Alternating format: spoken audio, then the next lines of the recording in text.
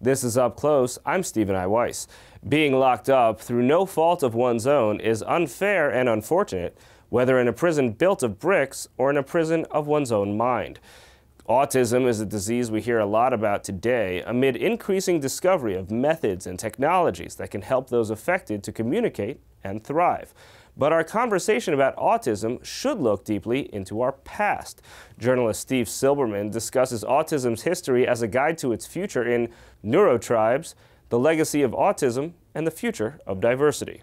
And then, if our society has often failed those with autism by not providing enough opportunity, Tens of thousands of Americans today have been failed by having their opportunity cut short, as they've been falsely imprisoned for someone else's crimes. New York Post reporter Reuven Fenton discusses his book, Stolen Years Stories of the Wrongfully Imprisoned. But first, here's my interview with Steve Silberman. When you look at conspiracy theories, I always feel like there's this grain of, of reality in them uh, that, that you can find of, of what people are really getting at. And with autism, uh, we saw this real push to find a cause of autism. And there was the fraudulent work of, of Andrew Wakefield about vaccines. There's been a bunch of other stuff. And what, what seems to be driving all of that is this idea that autism is new, right? right? That underlying this all is that, that people believe it came from somewhere, it's now on the scene. And it is true that we have this new word, relatively new word for it. But you suggest that really not not much has changed to actually make us have autism. Well, here's the thing. Um, basically, autism is a word that was coined in the early 1940s uh, for a condition that has been here for a very long time. And autistic people have, have been part of the human community forever, probably. Uh, there are excellent descriptions of autism from uh, institutions in Britain in the 19th century by a guy named John Langdon Down. Um, and they're, they're perfect descriptions of autism as we know it now a wide range of abilities and disabilities, uh, kids who appear to lose their skills dramatically in childhood. Um, however, one of the things that uh, Andrew Wakefield, the doctor who became famous for promoting the idea that vaccines cause autism, said was that that appearance of loss of skills in early childhood was a new thing caused by the MMR vaccine. That's obviously terrifying to parents.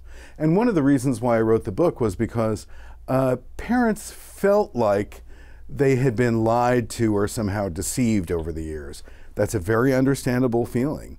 Uh, big pharma is not an industry to be trusted necessarily. Um, but what I found out was that they hadn't been lied to about vaccines, but that the basic timeline of autism's discovery was incorrect as it was repeated in thousands of textbooks and Wikipedia. Right. And so, what what do we actually know about the discovery of, of autism as a medical phenomenon? The timeline that you hear about and read about is that a guy named Leo Kanner, who was uh, one of the first child psychiatrists in America, discovered autism in 1943. Um, but that's not what actually happened. A guy named Hans Asperger, who was at the University of Vienna in the mid 1930s, discovered what we would now call the autism spectrum uh, meaning it was a lifelong condition. Uh, it had a very, very wide range of clinical presentations from kids who would not be able to talk and needed almost constant assistance to chatty professors of astronomy. And so Asperger had a very, very prescient view of autism. But there was a problem. He was in Austria in the 1930s. And so in 1938, the Nazis marched in, annexed the country for the fatherland, uh, and uh, of course, as we know, many Jewish clinicians had to leave. One of those Jewish clinicians uh, who was working with Asperger and had a very prescient idea of the spectrum was a guy named George Frankl. He was rescued by a clinician in America named Leo Kanner. And so George Frankl came to America in 1938. Um, Leo Kanner saw his first autistic patient in 1938. At first, he didn't know what to make of him. He sent him to George Frankl for evaluation. So that's why I say that Asperger was really the true discoverer of autism. Even still, that's still a pretty recent dis discovery, declaration, mm -hmm. naming of of Descri yeah, of clinical description, clinical yeah. description of, of a condition. Yeah, and and so what what was the thought that preceded early 20th century, 19th century, and, and, and beforehand? Well, you know, there was this very, very broad and fuzzy category that they generally called feeble mindedness, and there were you know, lots of terrible names applied to people who were considered feeble minded, clinical names used by doctors like moron and imbecile. And so, uh, in the, say, in the 18th and 19th century, people with feeble mindedness were basically put in institutions and mental asylums. There was a very uh, well known mental asylum in England called the Bethlehem Royal Hospital, or Bedlam. Uh, and you know these were generally terrible places. The the patients were mistreated. There was no understanding that they would have different conditions. So, for instance, a nonverbal autistic person might be extremely aware of their surroundings and uh, very intelligent, uh, but because they don't have the means to communicate, uh, many of those people were considered feeble-minded. Um, so you know, and that even continued into the 20th century in America for for a very long. Still continues today, in a sense. Um, nonverbal uh, children are often considered, you know, not intelligent or whatever, but they might have a lot going on inside. Right, and and you first began covering this with a story where where a lot of people, when we talk about the the, the ostensible explosion of autism in uh, in America today or, or, globally that we have this idea that in Silicon Valley, it's it's an extraordinary explosion. Right. And and you wrote this book, this, this cover story, the Geek Syndrome. Right. Um, yeah, I, I, wrote a story for Wired magazine in 2001 called The Geek Syndrome, and it was about the hypothesis that in specialized high tech communities, what was happening was that people who were carrying the genes for autism which can also convey advantages in certain uh, technical and scientific fields, as well as uh, some very pervasive disabilities, that people uh, carrying autistic genes basically had more social opportunities in the modern era because of the internet and stuff. You know, if you're working in a cubicle at some billion dollar Silicon Valley company, maybe the woman across the aisle also likes Star Trek and Dungeons and Dragons. So you had these social opportunities to meet, have kids, and uh, the kids might perhaps have a greater chance of having autism. But that article was very, very limited in its scope on purpose. Uh, I was really only focusing on high tech communities because I was writing for Wired.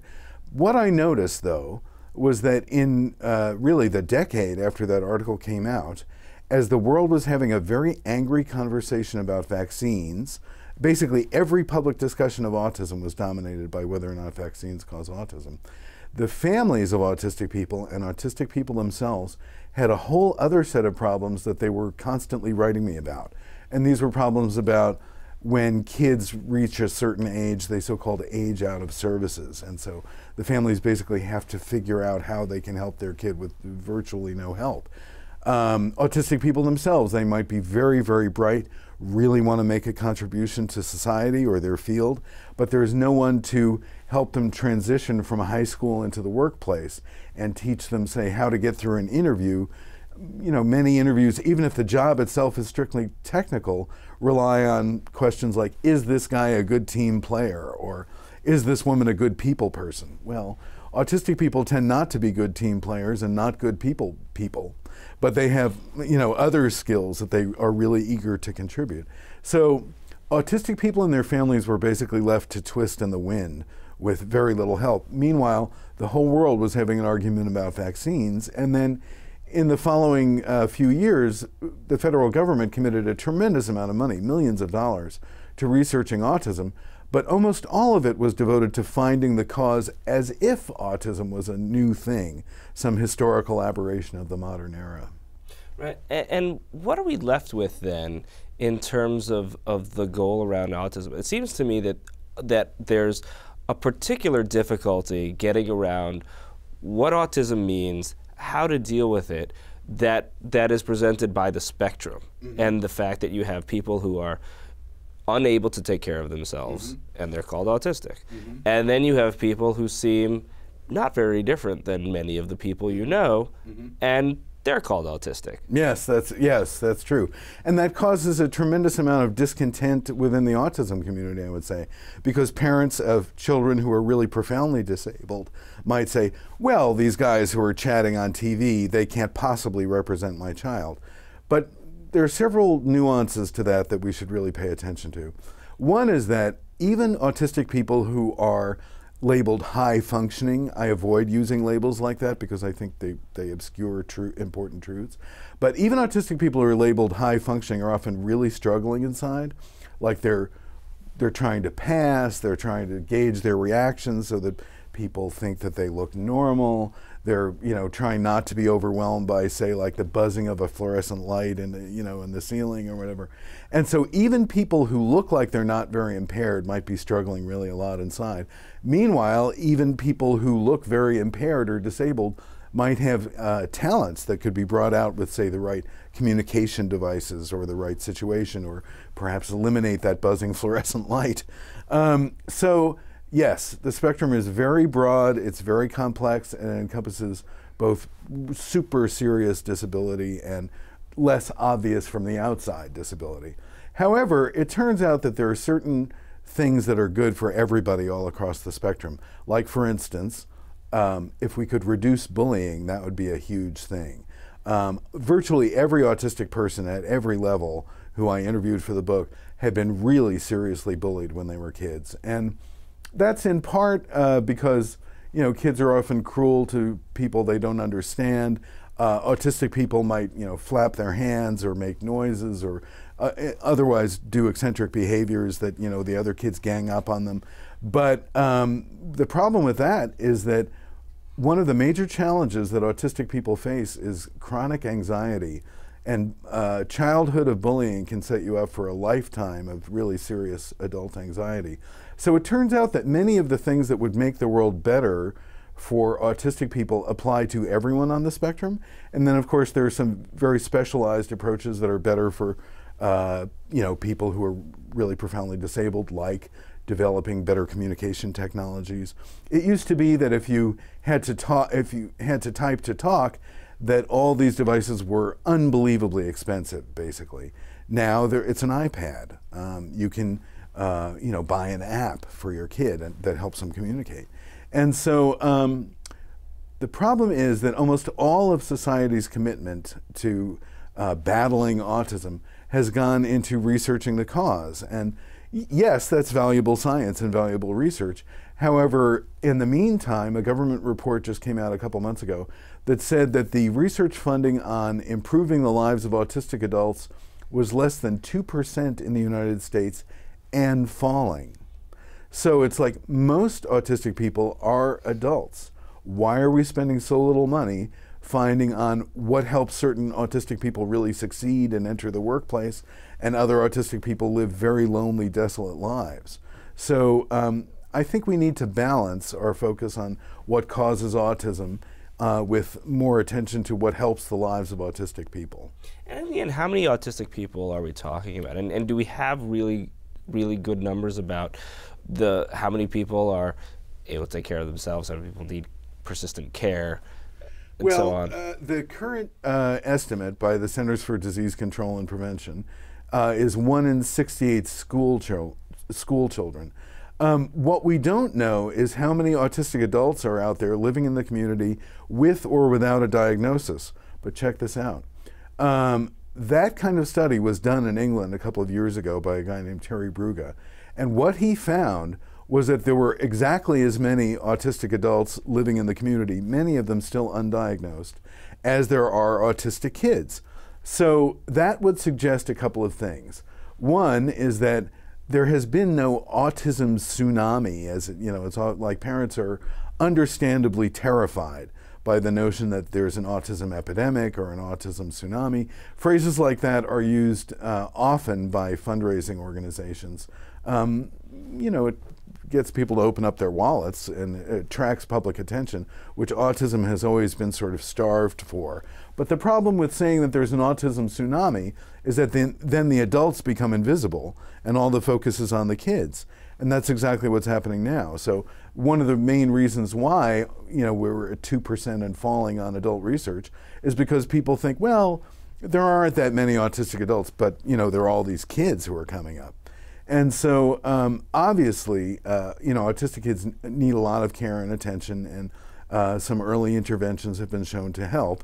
Um, but what we don't know is how many autistic adults are out there struggling to get by.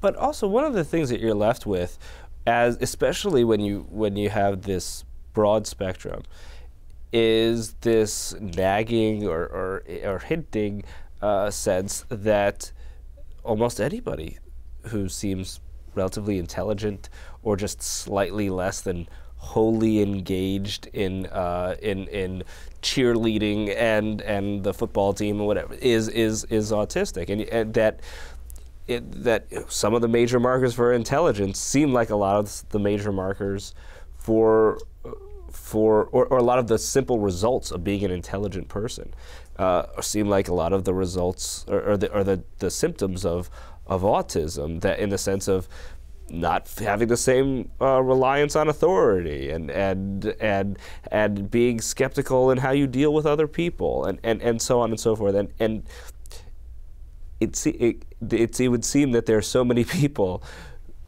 that end up being included in the camp and, it gets watered down. Well, I, I completely agree with that. So did, by the way, the inventor of the spectrum uh, or discoverer of the spectrum, uh, a, uh, a psychiatrist in London named Lorna Wing. She told me, quote, the spectrum shades imperceptibly into eccentric normality.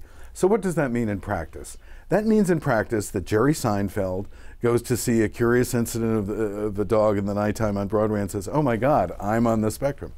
Is he really? I mean, if Jerry Seinfeld, Mark Zuckerberg, and you know all these other Silicon Valley billionaires that people are constantly saying is on the, you know Bill Gates, if those people are on the spectrum, then it's the problem is that then you think, well, what kind of help do they really need? I mean, my God, they're becoming billionaires.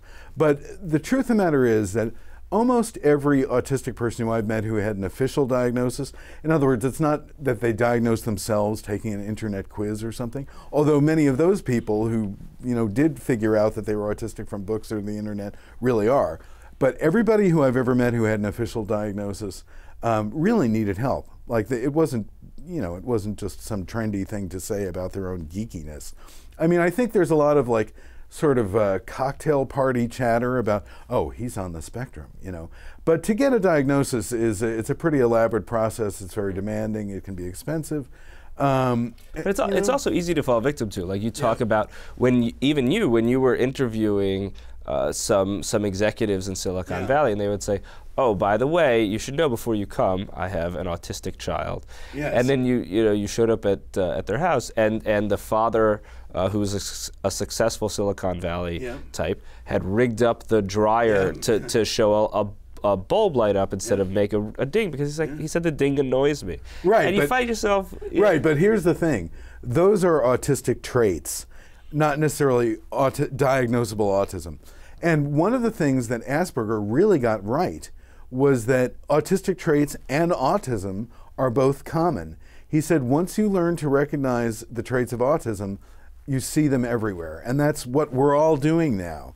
But for most of the 20th century, the, the uh, diagnostic parameters of autism were defined by that guy, Leo Kanner, who insisted that autism was extremely rare, that it was limited to upper middle class white families. Well, what was limited to upper middle class white families was access to Leo Kanner's office, basically. Um, and so uh, we now understand that autism is a thread in the fabric of human community and that uh, it can convey not only just really serious challenges, but also serious advantages and gifts and forms of creativity. Um, and that for the world to work best, we need different kinds of minds working together. And so that's what my book is trying to inspire. And when I go back, I remember some of the earliest coverage I read of autism. The defining characteristic uh, that would be they would make illustrations of this and so forth was a lack of empathy. Mm -hmm. That simply they could not understand what it was like to be in someone else's head. Mm -hmm. And and you suggest that that's not really where. No, where, I, no, where, I suggest that that's a yeah. it's a big lie. Um, here's the thing, I have met autistic people who care so much about how other people feel that they're almost paralyzed with anxiety that they're unintentionally hurting someone's feelings. What autistic? Well, but that's not what empathy is. Empathy is understanding someone's someone's. Well, feelings. that's true. I think that one of the main challenges for autistic people is taking the perspectives of other people. But there are different ways to work that out than doing it intuitively, like most typical developing people do. although some of them are not so good at it either. Um, so you you can do it sort of intellectually, where you you know learn about the situation more and understand. Oh, the other person might be really sad or something. I should be careful here. Um, and one thing that uh, I think has really done a lot of damage to autistic people is the notion that they're that they lack empathy, that they don't care how other people feel, that they're sociopaths. I mean, many things have been said, regrettably, in recent weeks because of the plethora of school shootings that, you know, oh, these people are autistic. Well, that's not true. And sociopaths are practically the opposite of autistic people. Sociopaths know exactly how you feel and how to leverage that to their own ends, you know. Autistic people have a hard time reading social signals. So it's like, I can look at you, I can tell you're thinking, oh, this is going pretty good. you know, it's like I can read your body language, your face. Um, autistic people can't do that. They might listen to you by looking away, and you think, oh my God, he's not listening to me. Actually, he's listening really hard. It's that if he was processing your facial expressions at the same time, it would be too much. So he's looking away so he can process your, your verbal. Language. Yeah, exactly, exactly. And so one thing that I've noticed is that autistic people often can pick up on each other's feelings really readily. So it's more like the so-called lack of empathy bo works both ways. If you look, you know, if you look at some of the terrible things that have been done to autistic people in history, in my book, it would seem to be the typically developing people who are lacking empathy for autistic people. So I think it works both ways. I think the notion that uh, autistic people struggle to read social signals is definitely valid that uh, they struggle to take other people's perspective is definitely valid. But once you say things like they lack empathy, it suggests a whole um, set of kind of emotional truths that are not necessarily true. And and when we see ultimately, you, you said you expressed a lot of doubt on the idea that Mark Zuckerberg should be considered autistic mm -hmm. or mm-hmm. Bill Gates should be considered autistic. Although they might have autistic traits. Might, but, you know. but in the sense that so many of us might. Right. Uh, there's there's ultimately in Silicon Valley, whether it's scientifically truthful or not, yeah. a sense that be of of that being autistic or on the spectrum is almost a badge of pride.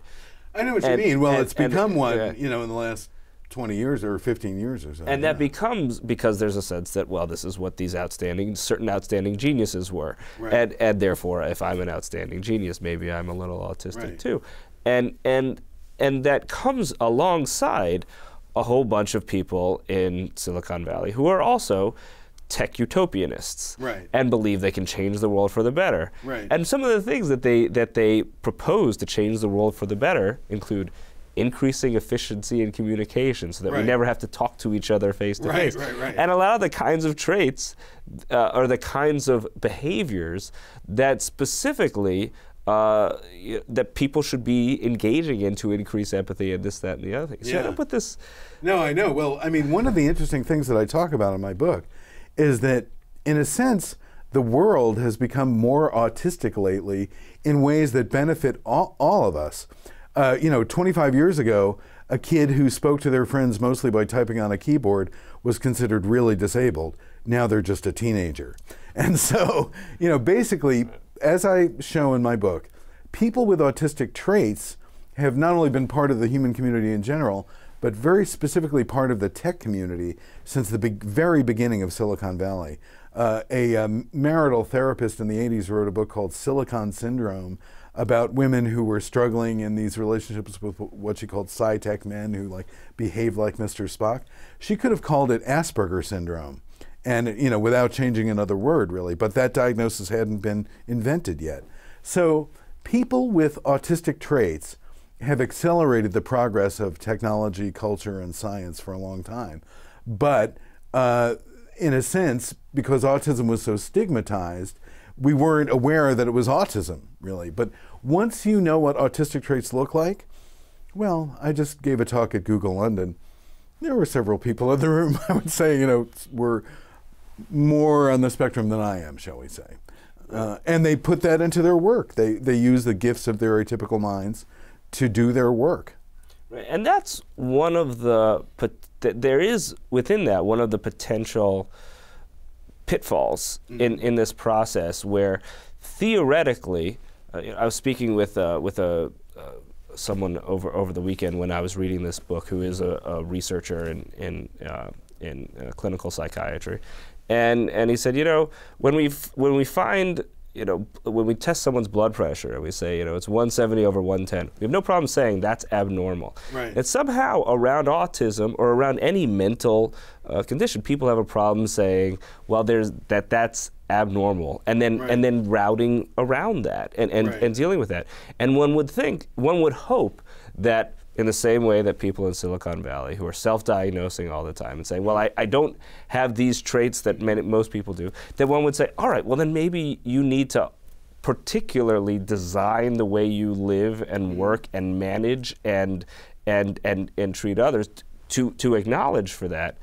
Well, And- I, and- I think they are designing their yeah. lives, actually. You know, I mean, uh, there are a lot of people in Silicon Valley who really don't like to talk face to face, or you know, they prefer text, or they don't like to talk on the phone. Some autistic people love the phone. I love the phone. I'm not autistic, but you know. Some, some people basically avoid the phone because uh, you know they can't handle the interpretation of the tones of voice and stuff like that. So I think that we're all kind of adapting the world to suit our needs. I don't think it's a secret that uh, a lot of people in Silicon Valley know that they or suspect that they're on the spectrum. And one of the things that happened when the criteria for diagnosis were radically broadened in the 80s and 90s, which produced the appearance of this autism epidemic and tsunami, is that um, parents whose kids were getting diagnosed with autism suddenly real you know they would read descriptions of asperger's syndrome and it's like oh actually that's me you know? And so one of the things that is encouraging people to be aware of their own autism is if their kids get diagnosed basically. And you know anybody who's been around autism for a long time it's like it's no secret that it runs in families. Like it not always you know there there you know there are always people who say i had no autistic relatives and yet my kid is really profoundly disabled. Yeah sure of course that happens.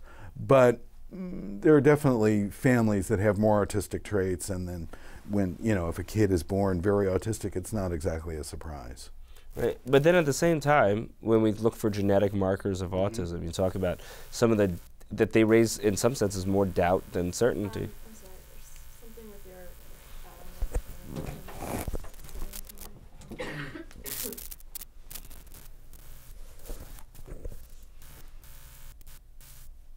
Um, La la la. just more doubt than certainty Yeah. Um, s- Hmm, it's just-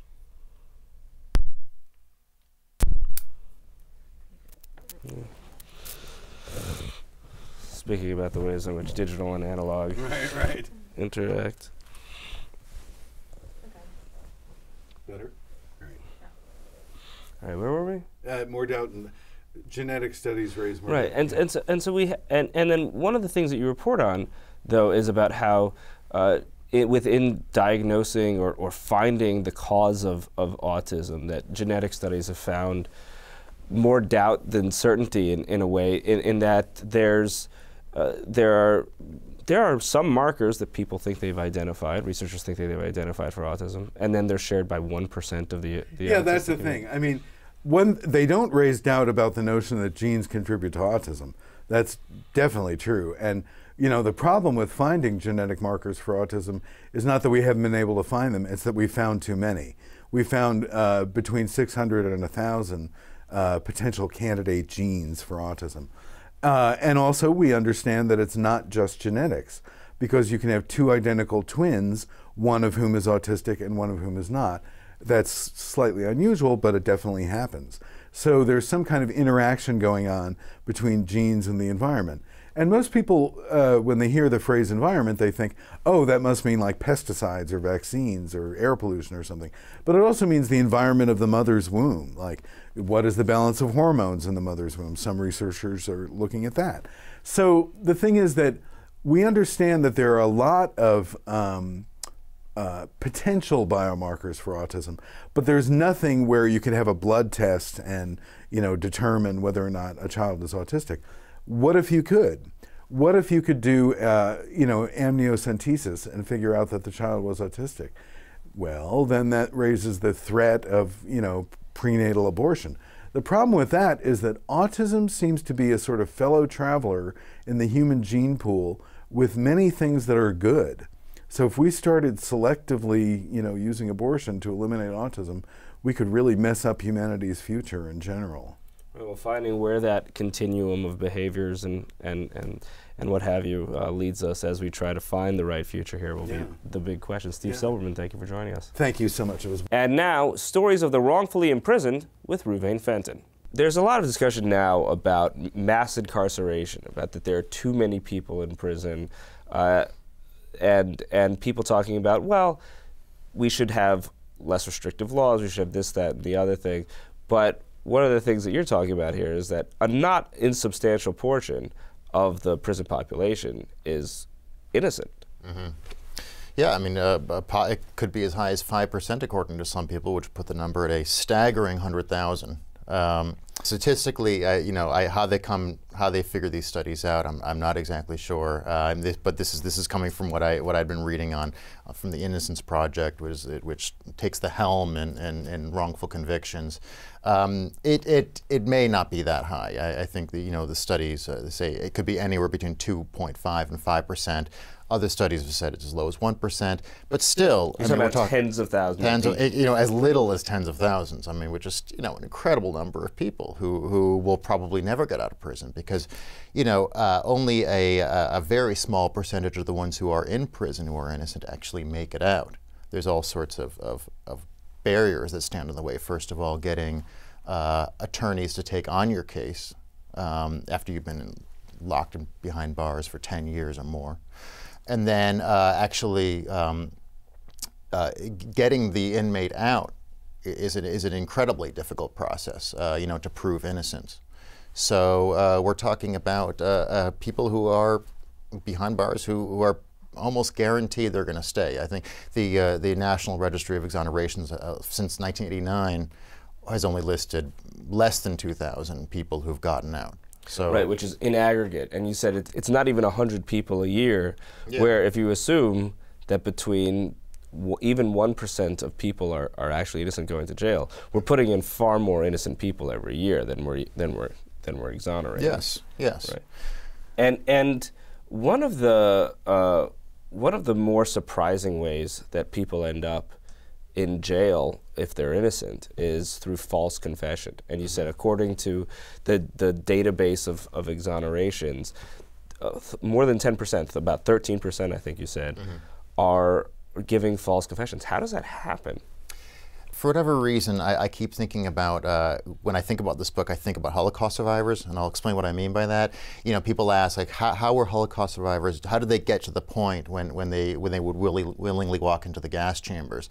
And and I think uh, uh, up until that last second, they just couldn't believe that this was actually happening. So, looking at, a, at and from the standpoint of somebody who who's you know going about his normal life, and all of a sudden these detectives grab him and they throw him into an interrogation room and they start like throwing questions at him and the guy's like I, I don't know what you're talking about. But then the, the process gets so intense because uh, hours go by and they keep repeating the questions over and over again and they're wearing the guy down and he's just he's just sweating and he's becoming exhausted. It's like imagine uh, imagine uh, just standing in one place for 10 hours straight.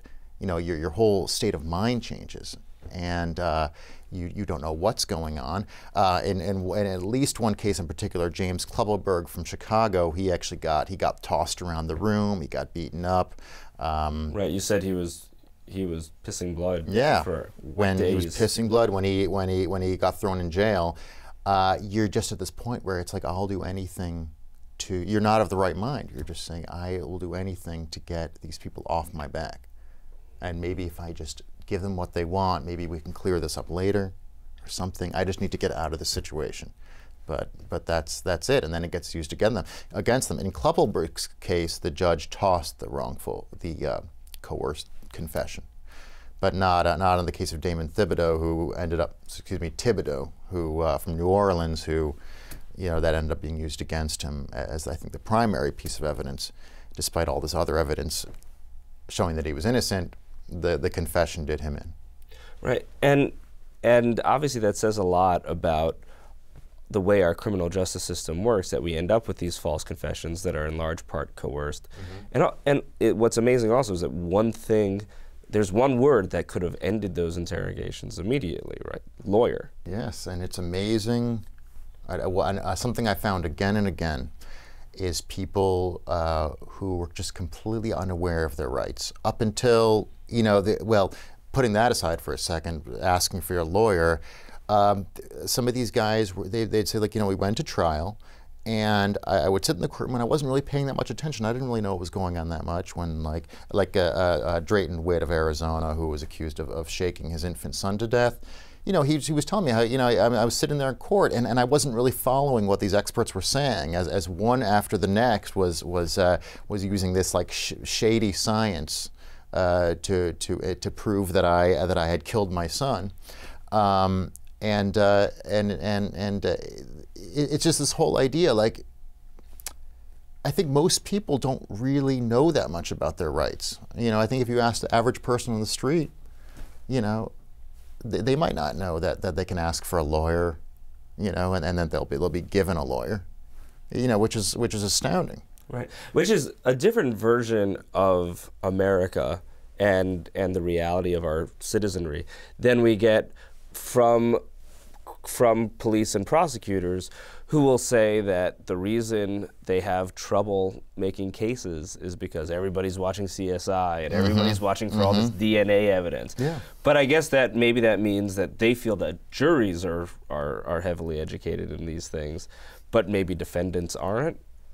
I, I don't know if juries if juries are, are as educated as we'd like to think. You know, I, I think juries and defense. Now, but that being said, you know, you mentioned Law and Order and CSI. The, the, many of the people in this book uh, got locked up before these shows were popular. I would just like to point that out. Um, and, and, and I do think the public is, is gradually becoming more savvy. Really, I mean, as you say, just like through from TV watching, watching, watching fictional shows, you learn quite a bit. But what's going on here, uh, in terms of in terms of injustice, there's also this idea in the criminal justice system in America generally, right? We have this idea that that uh, innocence isn't actually a bar you need to reach, and that that you can just need to reach reasonable doubt, and, mm-hmm. and someone and someone is declared not guilty. Mm-hmm. And you would, and overall, that should lead to an, an, an extreme caution and overabundance of people who are guilty walking, mm-hmm. and and and a very very rare instance of someone who is innocent actually ending up in jail. Do you think that's actually how it ends up happening? So you're asking me if I think that that uh, okay. Like, do you think that our criminal justice system is is then properly weighting this disparity or this uh, this situation to to get more innocent people off, but also the not the not the reasonable doubt of guilt off, to the point where we, we should be seeing an extreme minority of of innocent people ending up in jail. Are we? Do you feel that that's what we're seeing? My sense is is that is that things are well that th- that I'm that things are gradually improving in the sense that uh, that I, I think that more and more people are becoming aware of this issue is what's happening. So um, so so they're they're they're keeping that more in mind. Juries are keep, keeping that a little bit more in mind maybe than they used to about uh, about okay you know uh, you know trying to assess their own doubt you know, uh, in a courtroom because, uh, you know, eh, what it really boils down to, I think, a lot of the time is is who who's putting on a better performance, the you know the defense or the prosecutor. Uh, you know, if if your uh, if your defense lawyer isn't isn't creating enough of that doubt, you know, the the, the prosecutor's just going to steamroll. Um, which brings me to, I think, one of the fundamental issues is this desire to win cases, um, which I think might be the fundamental cause of all this. You know, when it's your job to prosecute and to win cases, I think, I think that's where things get skewed for, for in the prosecutor's mind. Um, It brings to mind that uh, I once had uh, a friend who had worked in, in Bob Morgenthau's office in the Manhattan DA and said that she felt one of the major differences between that office and other offices, and I'm sure there are lots of people who feel differently about this, but that she felt that there was this, this uh, this philosophy from on high, this order from on high, that if you don't actually believe someone's guilty, you should not be prosecuting them. and and and um, and within this, within some of the stories you tell, we see prosecutors and law enforcement who, at various points, turn down evidence or, or testimony that would have gone the other way. They dis- they didn't disclose it. They didn't use it, and um, and and you end up with a situation where the prosecutorial misconduct uh, and and similar misconduct by police and what have you ends up being a major major cause of these exonerations. I mean, I you know, and I would like to think uh, uh, that that the, the the Manhattan DA may realize. Well, first of all, you know, this is New York. New York is New York is a much more liberal city uh, to begin with, which which is an an important point. I think. Um, I think that Manhattan DA also realizes the the high profile nature of the cases that he's handling. You know, all eyes are on Manhattan, and maybe that influences. You know, I- okay, guys, we really got to be careful about about how we handle these cases. Let you know if, if the if we think the defendant is, is, is innocent, he's innocent. And and I, and I hope that this is uh, something that, that DAs you know across the country are taking on more and more. But uh, but unfortunately, I think that. Uh, so many of them are are, uh, are are still you know very eager to to pile up the numbers. You know uh, the quota. uh, You know, is always an issue.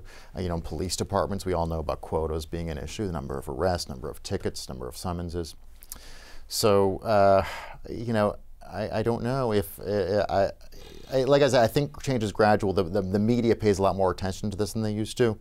You know, that tends to to to affect. You know, like no police officer nowadays would ever want to admit that that, they, that there's quotas for, for tickets and things like that. And, and you end up with a situation there where, like, like in so many bureaucracies and in so many companies and so many organizations, if you measure something, that ends up being what you target. And if you measure, and it's very easy to measure prosecutions, arrests, wins in court. It, you talk about the idea of measuring justice and how prosecutor and, and how prosecutors' offices should be aiming toward measuring justice, but that's a, a very ephemeral thing re- on a relative basis. It's harder to measure uh, justice, and it becomes the kind of thing that you can't really do on a spreadsheet and you can't really do on a table. You can't. I mean, like it's like yeah, it's like how do I mean how do you measure a case? You know, uh, if, if, if like you know, case. It's all about you know cases that you win. Like you know, it's like the whole the whole idea of, of dropping cases. It's it's it's counterintuitive. You know, uh, like oh, you want me to do the opposite of what I was trained to do? Oh, you know, i it's it's counterintuitive, um, and and I think that's part of the problem. Um, but uh, and, and it's just like it's like how do you yeah it's like like measuring justice. It, it is it, it's a very abstract thing.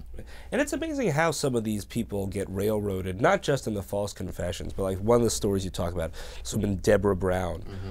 who, by and large, the evidence against her was more or less that she'd stolen from somebody. Mm-hmm. But then, she, and she was the one who found the body and reported the mm-hmm. body. But other than that, and, and there was a, a fair amount of exculpatory stuff out there. A- And it's, it's just amazing how she got railroaded all the way to prison. Yeah, I'm glad you brought up her case because you know uh, th- I I think that very much was a, a character, um, a, an assessment of character by the jury. You know, this this this happened in, in Utah, you know, where the majority of people are, are religious, you know, Mormons, and uh, and in her- her case, the, the evidence was brought out that she, uh, the night before. Um, uh, the the the, mur- the uh, murder. She was uh, with her boyfriend, and they they were in a hot tub together, and and this is very scandalous. And and this was brought up during her trial Very scandalous in Utah. in Utah. Right. You know, so a Utah jury, and and and, and the pro- and the prosecution had to have known this. Um, there was, you know, the the uh, evidence in her case. There, was no clear evidence that she had committed any murder whatsoever. But so you've got the hot tub, and of course the the forging of the checks, which is something that she admitted to, not at the time, but but years later she she did admit to that. Um, you know, she was very ashamed of herself for having done that, and uh, and it, it's it's amazing. Um, and and what's interesting about her, I think I mentioned this, in this book, is her defense lawyer said, you know, I, I suggest you don't go up and testify yourself, because right now you look so bad because of your hot tubbing and your check forging that that it, it's only going to hurt you if you go up there. Which is one of those things about how we're now talking about criminal justice in America that really goes against the grain of what our, our justice system is supposed to be. Where, for example, in the Black Lives Matter discussion, we have a whole lot of people saying, well, this guy held up a, a store, and this guy, you know, and this guy was uh, was was doing this or that misdemeanor, and it, the whole idea is, well, yeah, we ab- we abolished the death penalty for. Uh, for petty crimes, quite some time ago. We, this is simply not. We don't hang people for for stealing some cigarettes. And similarly here, we're not supposed to be giving people life in prison or the death penalty or even any or or, or or put them in jail at all for simply being not up to one's sense of morality. But it happens time and again. Yes, it does. I, I'm, I'm just reading this fantastic book called On the Run. Um, it's just basically about uh, uh, fugitives, because that's what they are in Philadelphia, young people who uh, committed petty crimes.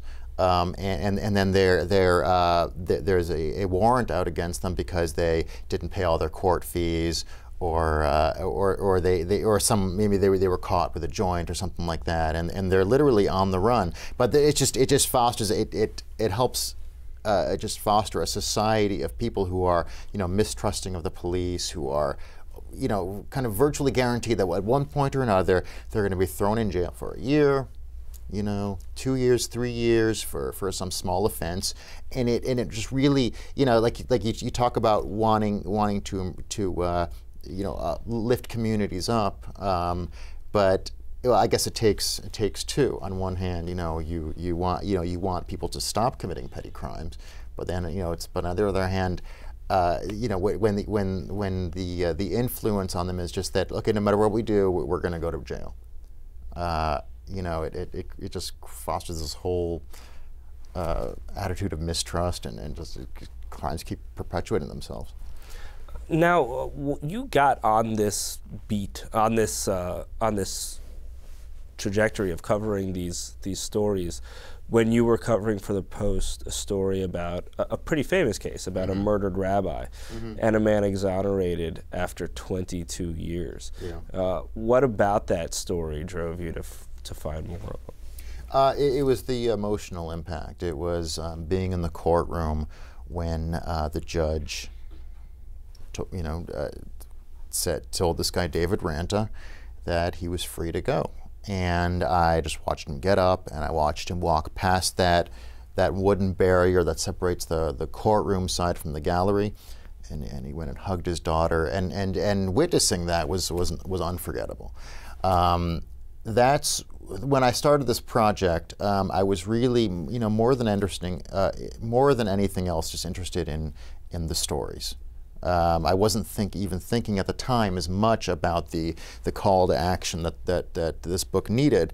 I was just like, wow, wow, that's you know, as a journalist, you know, we're we're always thinking about stories. Well, I mean, what a story! untold story. Yeah. And, and and in David Ranta's case, I just remember the press conference afterwards. Um, you know, it was, it was it was a chaotic press conference. There were uh, it was a huge story. You know, made front pages all over the all over the country. I think. Um, but uh, you know, it was all just like, hey, you know, what, what's the first thing you're going to do? Uh, you know, how do you feel to be out? What's the first?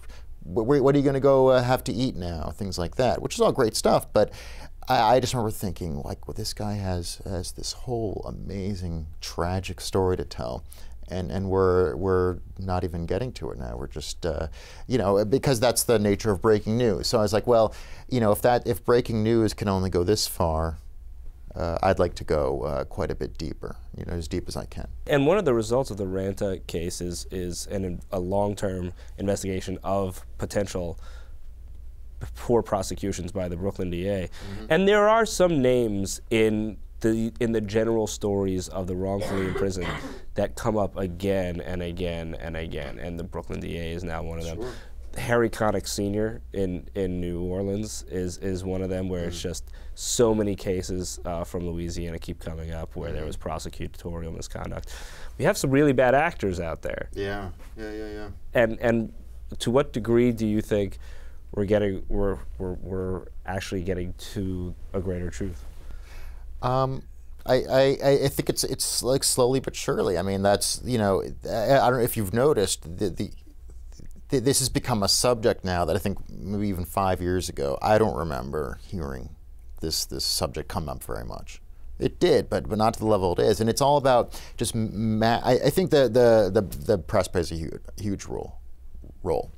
Um, you know, the, the more the you know the more stories we cover on a single subject, the more uh, people get pointed out, you know, for their faults and and and uh, you know pay the price.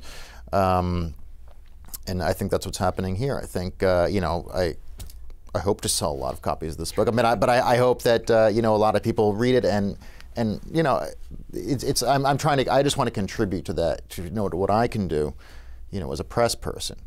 Um, but I, you know, I, I to me it, all, it, it comes back to the press time and time again because otherwise, if nobody's watching you, you're just going to keep doing what you're doing. And when we spoke uh, before you came in, uh, and you mentioned how a Jewish philosophy and, and, and a Jewish upbringing led you to have a particular perspective on the story and to perceive the importance of this story in a certain way. Uh, what is some of that? Again and again, I, I, I mentioned before, it's like I, I just keep thinking about the Holocaust, which, which is a completely different subject. But um, it's the idea of, of, of a stolen life. You know, in the case of Holocaust, you know, there, there, there is a parallel there, and I, and, I, and I keep thinking about that. I keep thinking about the idea, uh, and this is what haunts me, is the idea of, of you know, you're, you're living a, a relatively normal life. Um, you may be wealthy, you may be poor, whatever, you know, urban, rural, and then all of a sudden, like this unbelievable thing happens to you that you just can't believe, and it's it's the, it's the disbelief that I think haunts me. Like you know, I the, the idea. So in, in the case of stolen years, you know, you're you're um, in court, you're asked to stand, you know, to to hear the verdict, and you think that that the verdict, the jury foreman's going to say not guilty and then they say guilty, and you just you just can't believe what's happening. And and, and I and I think that's what. I, that's the way I imagine, you know, people who went to concentration death camps. They, they'd get on the train. They think, okay, th you know, this is bad, but but it's not, you know. And then they'd get, they'd get to the and up until the minute they'd be like herded into the gas chambers, they'd be thinking like, no, this is never going to happen, and then it would. And and to me, like that's that that may that was one of the the fundamental things that that gave me, I, I think, a fascination about these cases, the uh, the, the the the random victimization. It wasn't so random in, in, during the Holocaust, but just that from I think from the point of view of the people, they're like, what's going on, you know? So I think you know, as, as a Jew, that's what that's one of the things, and we just and it's just it's just part of our history, you know, you know, persecution. Being wrongfully imprisoned is. Uh, well, uh, yeah, that and, and just persecution in general. You know, um, you know, the, a sense of always looking over our, our shoulder for you know, uh, like we, you know, it's almost almost. I think, and a lot. I know a lot of you know Jewish people, particularly you know older Jewish people, who almost expect seem to expect uh, tragedy to occur. Like there's there's like almost a likelihood of it because how could there not be given all that's happened, all the uh, seemingly.